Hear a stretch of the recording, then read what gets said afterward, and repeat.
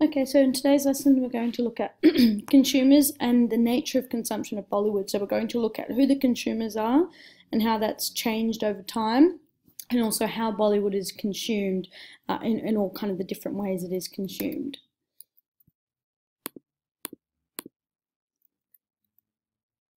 So um, just to so that we're kind of familiar with the concept and the term, uh, consumption refers to buying products as well as interacting with the popular culture.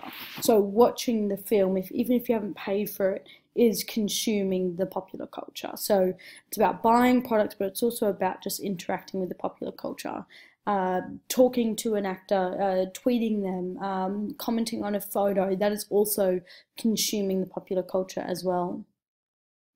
Uh, so the Bollywood consumers include, in which we should be familiar with already, are Indians, obviously. Then you've got PIOs, persons of Indian origin. You also have NRIs, which are non-resident Indians, and then you have the globalized audiences that um, so that are seeking a unique experience. So outside of Hollywood, like Western audiences, as well as audience kind of globally around the world that kind of want a different uh, form of entertainment outside of what they're currently getting, which is mostly Hollywood, or who connect with more traditional conservative cultural uh, cultures. So, like um, the popularity of Bollywood in places like Southeast Asia as well as in Afghanistan. So, there's a whole range of uh, audiences and, and different reasons why uh, these consumers or audiences um, look at and interact with uh, Bollywood in different ways.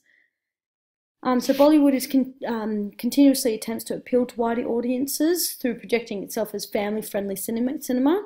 By doing this, it kind of maintains the interest of Bollywood within conservative cultures because um, by focusing on those family values as well as of romance, as well as of um, like the ideals around nationalism, but just the kind of the projection of those traditional cultural values, especially around family, maintains its base audiences um, within India, as well as um, maintains the interest of um, conservative cultures, uh, conservative groups uh, globally as well. So um, it also means that uh, Indian audiences continue to make it a family affair. So rather than going individually or with a couple of friends, they, they tend to go as a family, and, and it, it's kind of maintained that through projecting itself as being a uh, family-friendly cinema viewing. Um, so uh, the growth of consumers of Bollywood, we've kind of looked at this already, but we'll just go over it again a little bit. So obviously, with the development of Bollywood from a local to a national and then to a global level, has not has not only increased its audiences, but the demographic makeup of the audiences as well. So obviously, initially. Uh, Bollywood was only consumed by uh, the local community, so members within, um, or sorry, people that lived within Bombay or Mumbai.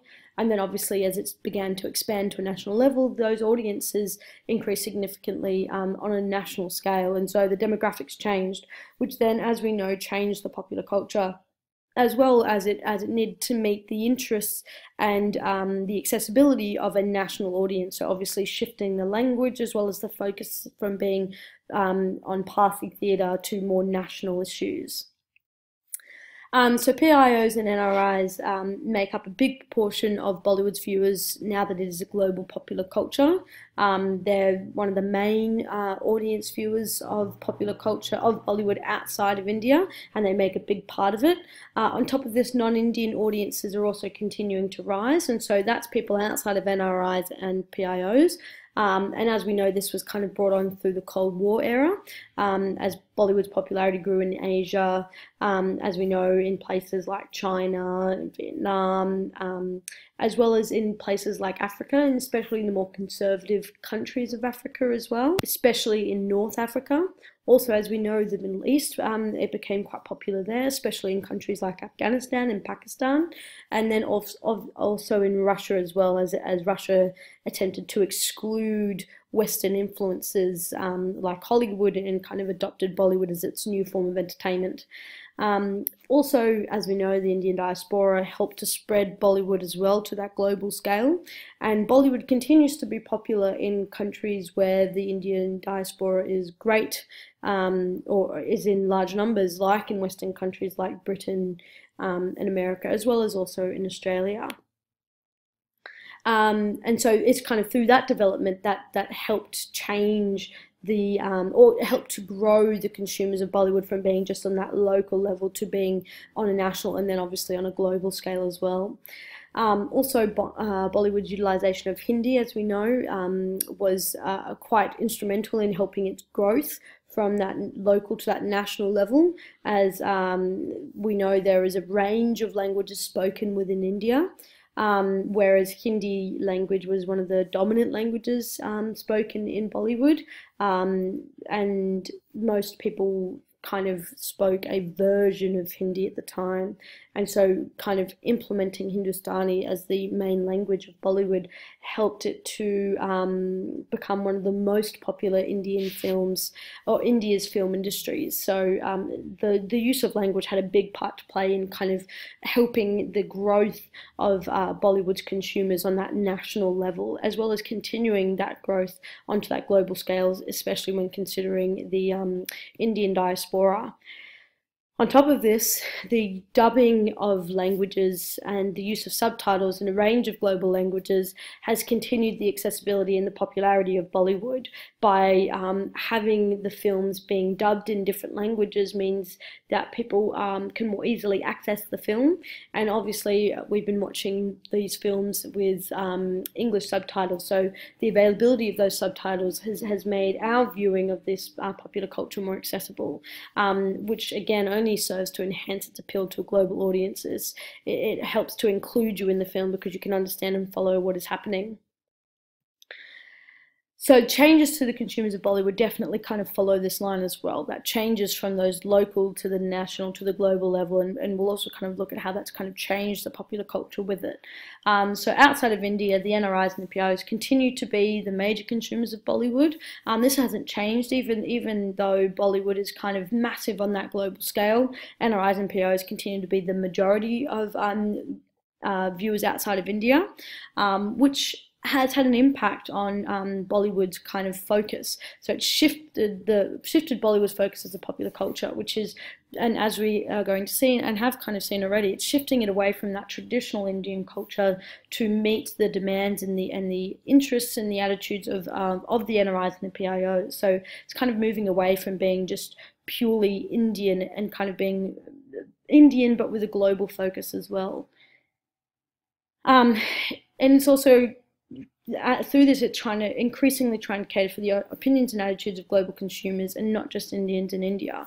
So uh, Bollywood has, like uh, I've constantly said, it's always been seen as this projection of Indian cultural ideals and cultural values, but this is shifting um, with this kind of continuous presence these NRIs and PIOs having uh, on top of this, it's also shifting because of the growing Western audiences, um, which is increasing through the continuous growth of access to these films, which is seen through the fact that cinemas within Western countries are regularly showing and screening um, new Bollywood films now.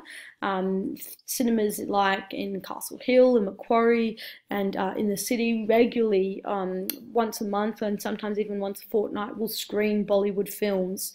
Um, and so it's, it's quite easily accessible. On top of that, really popular streaming services like Netflix have a Bollywood category within it, and they're constantly updating those films. So there's a wide range of Bollywood films um, people can have access to now, which only serves to increase the um, interest in the access of those films, which therefore also has an influence on the kind of content within Bollywood films, which is seen through the depiction of wealth, and and we've kind of seen that a little bit through Love Aaj Kal, how wealthy these people are. You can see that through their clothing, through their travel, um, through their products that kind of connect to them, like their cars, their watches, that kind of stuff. You can also see it through the sexualization of women, which is a big uh, change in Bollywood and how women are kind of portrayed and how they look, especially even just through the dancing, which, as we know, the music is a big part of Bollywood, and, and kind of that shift of um, how women are portrayed in, in just the songs alone is, is a massive shift. So I'm just going to quickly show you that as an example because we might not be aware of that shift because most of the films we're going to be watching is um, more current modern ones. So if you look at these photos here, the top two photos are from really popular films in the 1990s, and as you can see, the women are pretty conservatively dressed. You can't see much skin other than their arms and on their face. And again, the same here. Their clothes are pretty pretty contained. There's, there's not much skin showing. And then you look at the film, the photos down here from two very popular films um, currently. So one from 2015, uh, 2014 and one from 2016. Um, and you can just see the change in clothing, but also kind of what they're how they're projected as well. They're quite sexualized uh, positions, and this this photo is from Student of the Year, so a film that we're going to watch as well. And uh, she's quite sexualized as well throughout the film.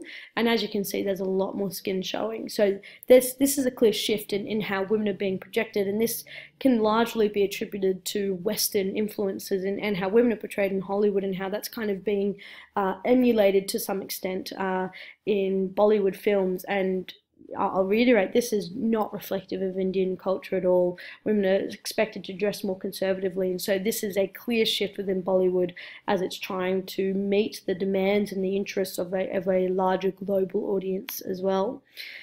Uh, and in top of this as well, you've also got heightened awareness of the individual, which is kind of projected through um, the family values, the continuous family values within Bollywood. Whilst there, there's still that identity and that, that influence of family, it's it's becoming more of the desires of the individual over the desires of the family. So you know, up until the late 1990s, going into the early 2000s, the family, uh, the individual would would always pick the family over their romantic interest.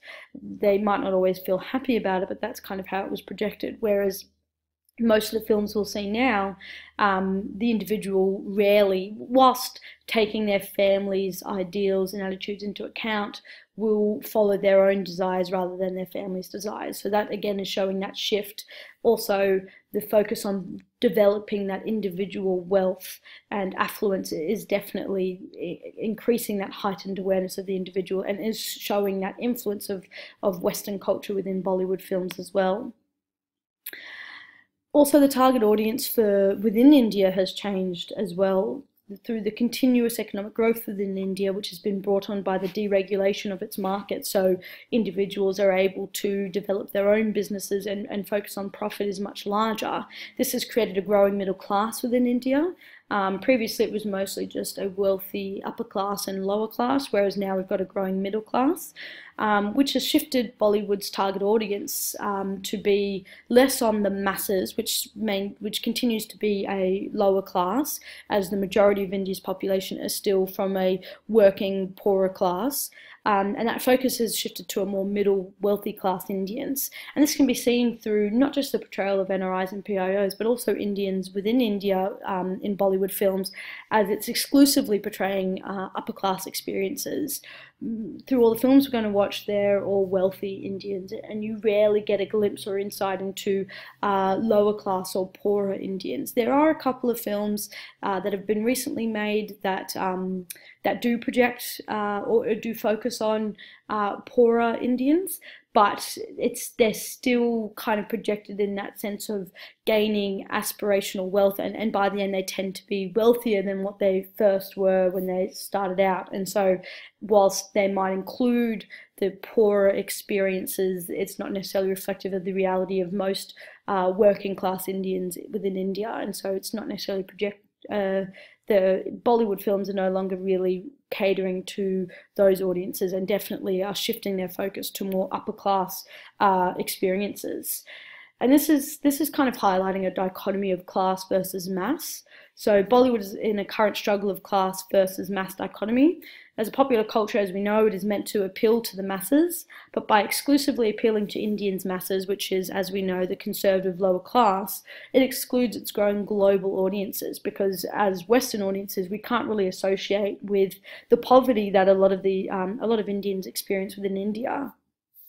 By appealing to the small yet growing middle class or wealthy classes, it potentially enables its markets to grow as it allows wider audiences who don't identify with India's poor to associate with it. So for Western audiences like us and, and uh, global NRI audiences, they, they can much more easily associate with that wealthy um, or middle class uh, experiences than they can with the poorer classes. So by Bollywood's shift to that wealthy classes with even in India, um, it kind of enables that audience to maintain that growing global audiences. Um, however, it also runs the risk of alienating its base supporters through doing this, as through targeting these audiences, conservative and religious groups in India are starting to feel as though Bollywood no longer reflects Indian values and is too focused on the aspirational wealth of the NRIs and Western world. However, the question remains, and this is something that we'll discuss uh, in class in more detail, does this focus truly exclude the majority of Indian viewers? So this focus on the wealthy um, NRIs as well as the wealthy Indians within India? Um, or because of its external mythology, so the stars and their continuous influence on Indian society as a whole, does this projection of wealth provide a means for which the largely lower class Indian population can aspire to and therefore associate through that? So is it annihilating their, their mass, the mass, or is it providing something that um, many of the mass kind of want to achieve or aspire to? And by doing that they're, they're still having that connection by not necessarily reflecting their experiences but reflecting something they want to identify with or they want to be. So that's kind of a question we're going to uh, gra uh, grapple with um, as we go through this. Um, are they being excluded or is, is are they being included but in a very different way So um, now we're just going to quickly look at how Bollywood is consumed, so the nature of its consumption. So the watching a Bollywood film is one way in which popular culture is consumed, so how Bollywood is consumed. The ways in which films are watched are through within India in, mul in multiplex cinemas, which is kind of like just a, a big building with lots of cinemas within it. Oh, sorry, lots of screens within it. Producers also hold uh, tent cinemas across the country, so they travel around the country um, when they have a really big film they want a lot of people to watch, they'll uh, hold a kind of a tent cinema. The projectionist will show the film and, and um, they'll charge a very, very small amount. Uh, and they do this in very rural, poor areas so that rural, poor audiences still have access to it. And then obviously also um, Bollywood is screened on TV as well. So Bollywood films are screened on TV as well. Um, outside of India, Bollywood video outlets is another way that um, Bollywood films are consumed. So this is Indian video shops. So in Britain alone, it was estimated that in 1997 there were over 4,000 video outlets that um, The Indian diaspora as well as British audiences could go and purchase DVDs from. Although this is uh, decreasing significantly now that um, DVDs are not as prominent as they once were, um, which is kind of leading to how uh, other um, people watch uh, Bollywood films outside of India, which is in movie houses, which is run by local South Asian entrepreneurs and has grown rapidly since the mid 90s. Um, and this is like essentially like cinemas, but they're they're made to just screen Bollywood films, and, and they're quite popular um, out. They're quite popular throughout Southeast Asia as well as in some Middle Eastern countries as well. And then obviously uh, you have Western cinemas like Event Cinemas in Australia regularly screening popular new releases of Bollywood films, as I've already kind of stated. And then obviously you also have those streaming services like Netflix that, um, like I said, have a, a category just for Bollywood films on their program. But then obviously you've also got downloading both illegally and legally, um, and that's kind of how the majority of people are accessing Bollywood films both within India as well as globally. And then outside of that, paraphernalia associated with Bollywood films is also another way that um, Bollywood is consumed uh, and this includes the interactions with and purchasing of commercial products uh, that are mass produced accordingly, accordingly to popular demand. So, um, music albums of the films, which is known as filmi, um, and filmi is a major part of the consumption of the popular culture, as we know, as it plays an important role in publicising and marketing Bollywood films. Like we said, the releasing of songs before the film gives people access to uh, understanding what the film's about, as well in, as well as building hype and interest in the film before it comes comes out. So that's kind of known as filmi, and it's, and it's quite a major part of the consumption of the popular culture. Um, also, the releasing and selling of film posters and postcards. Um, lots of postcards you'll find within India are like the uh, covers of a Bollywood film. Also, they regularly sell posters, which a lot of Indians will kind of um, hang up in their houses and in their bedrooms um, to feel a connection to that film as well.